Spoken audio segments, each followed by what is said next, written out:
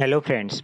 Today Google Doodle celebrating Teachers Day in Chile on October 16. Today Google has decided to greet teachers with a doodle illustrated with the drawing of the main subjects of the courses. To make a bit of the history, the date of Teachers Day has been modified on the several occasions.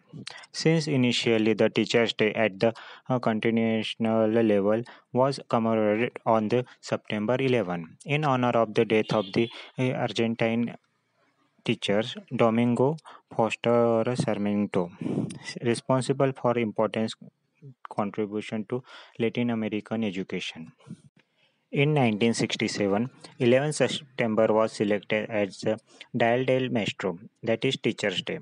The date was moved to 10 December in 1975. Because of the, that day, in 1945, the Chilean poet Gabriela Mistral receives the Nobel Prize.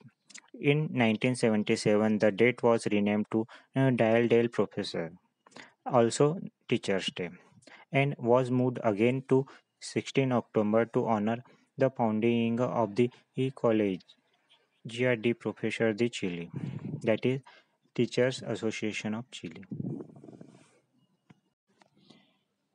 Thanks for watching this video.